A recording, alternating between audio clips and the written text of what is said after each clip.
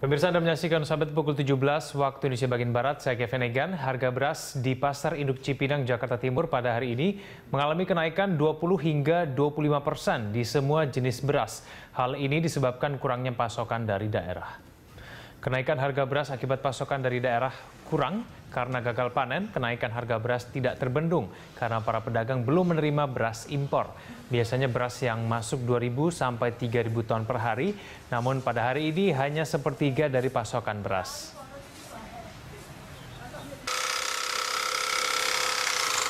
Semua jenis beras. Untuk naiknya sekitaran berapa Pak? Ini 2.000 sampai 3.000. Hmm, berarti untuk buat apa pembeli sendiri ada berkurang dong Pak? Ada banyak pengeluhan berarti artinya?